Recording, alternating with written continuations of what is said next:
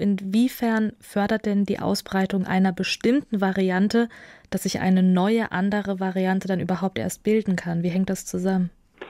Also man muss sich vorstellen wie einen Stammbaum und wenn eine besonders also erfolgreiche Variante sich entwickelt hat, wie jetzt zum Beispiel die Delta-Variante, dann ist es auch sehr wahrscheinlich, also dass sich auf der Grundlage äh, also dieser Variante, die sich dann äh, sehr schnell breit ausdehnt, äh, sich neue Varianten entwickeln, die von dieser Variante ausgehen wiederum.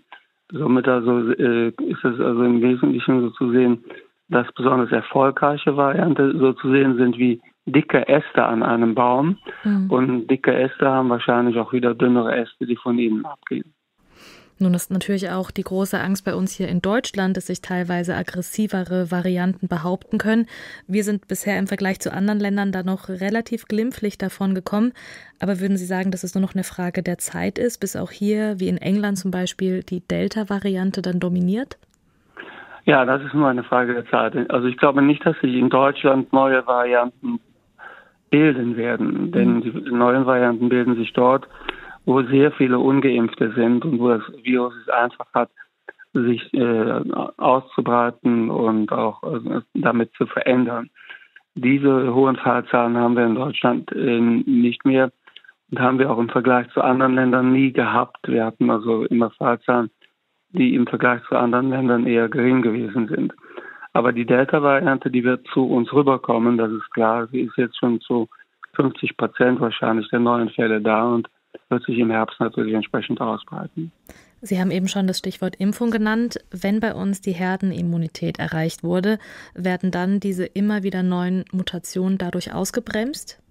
Die werden ausgebremst. Die Gefahr besteht aber darin, dass also äh, tatsächlich das Virus äh, mit so vielen Impfstoffen, mittlerweile 13 zugelassenen Impfstoffen, hm. also bearbeitet, bekämpft wird, dass äh, das Virus lernt, mit Impfstoffen umzugehen, genauer gesagt auch Geimpfte zu befallen. Das hat man in der Geschichte von, äh, von Viren noch nie gehabt, dass ein Virus so aggressiv durch Impfstoffe früh und schnell bekämpft wurde. Und das kann dazu führen, dass sich hier die also Virenstämme durchsetzen, besonders geeignet sind, sich auszubreiten, auch bei denjenigen, die bereits geimpft sind. Und könnte vielleicht irgendwann sogar eine Variante auftreten, gegen die alle bisherigen Impfstoffe nicht mehr helfen? Das wäre denkbar. Im Labor ist das gelungen. Die Universität in Haifa hat eine Studie veröffentlicht, wo äh, also in äh, Virus äh, äh Laborexperimenten äh, Viren gezüchtet werden konnten, die gegen die bis dahin also äh, bekannten Impfstoffe allesamt resistent sind. Ob sich solche äh, Varianten auch in der äh, also freien Wildbahn beim Menschen also entwickeln, das wissen wir zum jetzigen Zeitpunkt nicht.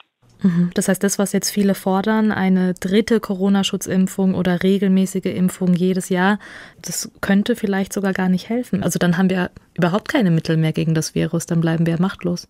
Nein, das glaube ich nicht. Also wir würden dann wieder Impfstoffe entwickeln, die gegen diese Varianten ankommen. Also die, dass ein Virus sich ent, dass ein Virus sich ausdehnt, was gegen die meisten der jetzt bekannten also Impfstoffe zumindest teilweise also resistent ist. Das kann ich mir vorstellen.